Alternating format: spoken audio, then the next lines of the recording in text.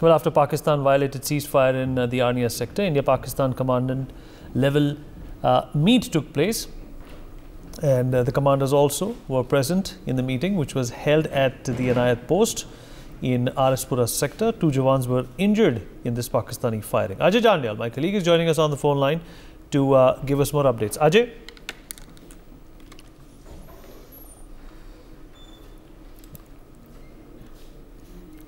Ajay, if you're there with us? Yes, I can.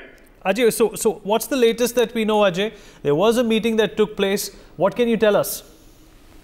Well, uh, yes, 17 minute long uh, flag meeting took place uh, here on the international border in uh, sector on a fry post and uh, an post between a night and uh, a fry post of uh, India and Pakistan uh, on the international border here uh, in Jammu. And uh, strongly condemned the Pakistani firing yesterday which took place. Pakistan violated ceasefire and targeted the BSF troopers, those who were doing the maintenance work. And during that flag meeting, uh, senior officials of the BSF, because it, was the commander and the wing commander level meeting, uh, so BSF strongly, uh, you know, uh, took up the issue of the ceasefire violation from the Pakistan side and Pakistani Rangers side. And it was uh, the issue was raised that how Pakistan could do uh, such thing uh, when they have agreed for the uh, for maintaining the peace on the international border area.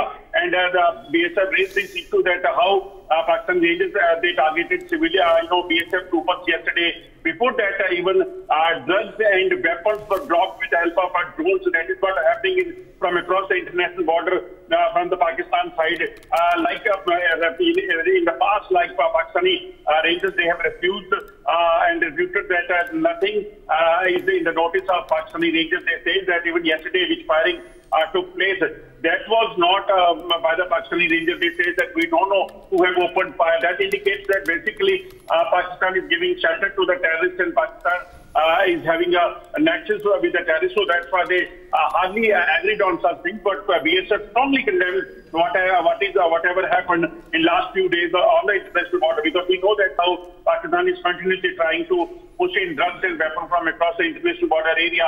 And even yesterday, they have violated ceasefire on the international border in Arnia, in which two BSF troopers they were injured, uh, and one of uh, you know uh, BSF trooper he, he was grievously injured as he received three uh, bullets uh, which were fired from, by the Pakistani Rangers.